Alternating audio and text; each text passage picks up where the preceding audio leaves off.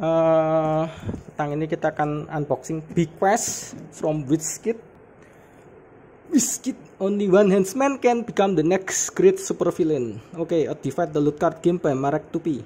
So the mechanism mechanism is I speed you choose. 30 minute ages 10 and up. One eh 3 to 6 player. Minimum is 3 player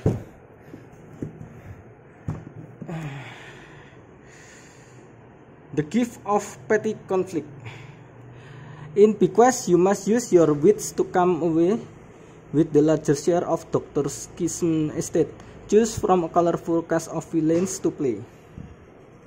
Each round, every player gets a hand of Dr. Schism estate card that they'll need to split with their neighbors.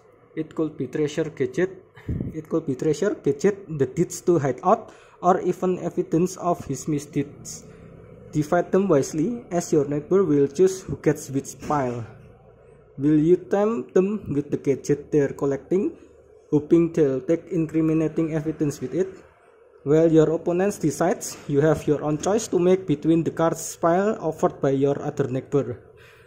Can you figure out what they want to you, what they want you to pick? Can you complete Dr. Schism's unfinished schemes for even more points? Put on your best evil queen and prove yourself as the rightful heir. Huh. So poker face.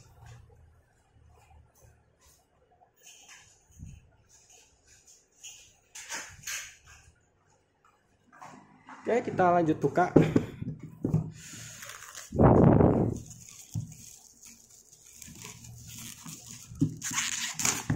Pretty big box for such party game.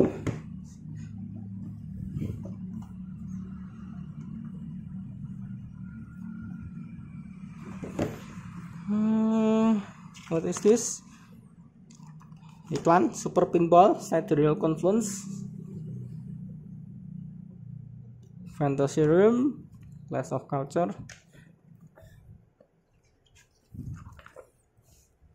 Komponen setup 3 player setup 4 player setup 5 and 6 player setup. So yes there is a pile between two player to choose from. Setting up each round. Uh, number of layer and then number of card number of special card to reveal phase 1 split and choose. Phase 2 where's phase 2 uh, special card draft. And then end of round. And then end of game. Gadget. There are three type of gadgets. Cannon power cores and vehicles. Treasure. Whenever a player acquire a treasure card they must flip it face down immediately. So hidden information. Treasure-nya. Evidence. If a player has three or more evidence card its evidence card is worth three minus 3 dollar. Oh jangan sampai kena tiga evidence yang sama. Oke. Okay. sepertinya cukup menarik ini gamenya. Uh, how to open this? How to open this? How to open this? Yeah. What so PLE, PLB six player color eh six player ya betul six player. For six player. Uh, kemudian ini main board di tengah. Card uh, score pad. Score pad. Kemudian wow ini chip wow sangat canggih very canggih chip. Let's open it. Ih.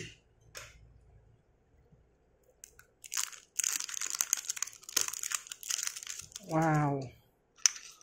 Wow. Wish. can you hear that? Very chunky chip I don't know what for. A B and C. Maybe maybe there's a C.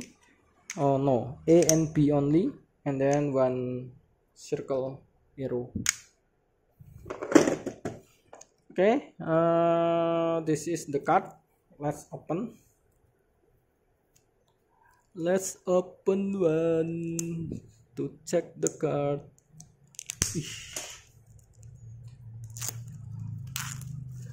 open one of the deck. I'm not gonna open all. So this is evidence card. You have 3 minus 3 point per. So minus minus 9 what the hell? Influence western hemisphere. 15 dollar 10 dollar i don't know what that mean treasure. So treasure card if you collect one one dollar two two three three and so on. Gadget. Different gadget maybe. Yes looks like different gadget. So for different gadgets 15 dollar. I just assume how that works in here. There's a strike minus 2 dollar hideout creator minus 2 why a hideout is minus 2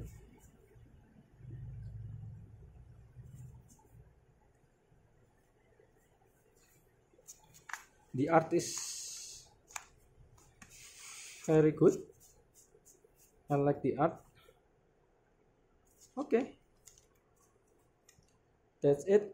Uh, I'm not gonna open the other it look like the same. Yeah, this is player 8 and then what is this? Ability ah variable player power. Looks like there there is a variable player power here.